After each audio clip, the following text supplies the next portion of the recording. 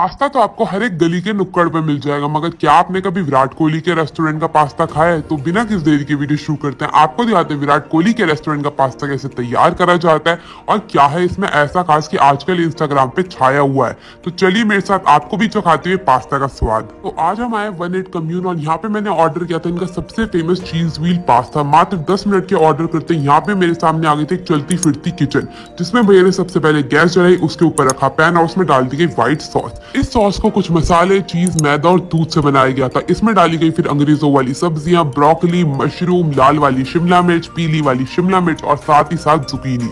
इन सब सब्जियों को इस सॉस के अंदर भूना जाएगा। आप देख सकते हैं कोई मसाला नहीं डाला गया क्योंकि पहले से ही सॉस में मसाला डाला हुआ था। अब ये जो आप चलनी देख रहे हैं ना, इसी में जो है पास्ता को उबाला जाएगा।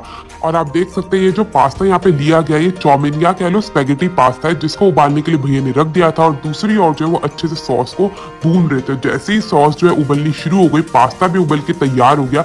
इसको डाल दिया गया सॉस में। अब इसे अच्छे से मिलाया जाएगा ताकि जितना भी पास्ता है वो बिल्कुल सॉस में लपलपा जाए। मैं आपको बता दूँ, यहाँ पे कोई भी पास्ता की चॉइस नहीं मिलती और ये वाला जो पास्ता था, ये करीब करीब सात सौ रुपए का था और ये मेरी ज़िंदगी का सबसे महँगा पास्ता मैंने ट्राई करा था। अब सोचो, आप लोगों के लिए क्या क्या नहीं करना पड़ता। और दूसरी और जो है, ये जो है ना, ये है मेन चीज़ ये है चीज़ व्हील जिसको सबसे पहले इस मशीन द्वारा गर्म करा जा रहा है ताकि चीज़ को पिघलाया जा सके। मैं आपको बता दूँ, यहाँ पे हाइजीन मैं इन्हें दूँगी टेन आउट ऑफ़ फाइव क्योंकि ये देखिए वेज नॉन वेज दोनों में ये इस्तेमाल करते हैं और इन्होंने इसे धोया नहीं है।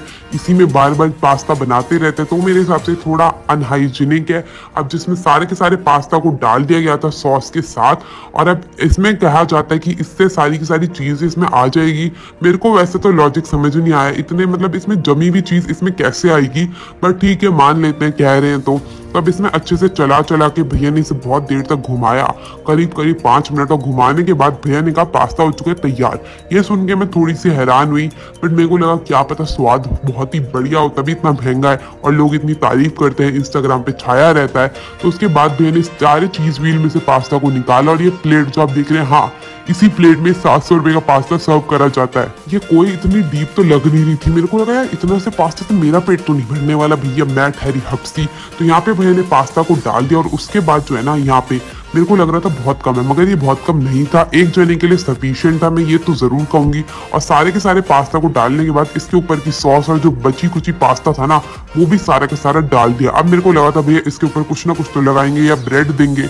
जो आमतौर पर हर कोई पास्ता के साथ दी जाती है, इन्होंने ऐसा कुछ नहीं करा। बस आपको सात सौ रुपये में यही मिलेगा और ऐसे ही दिया जाएगा।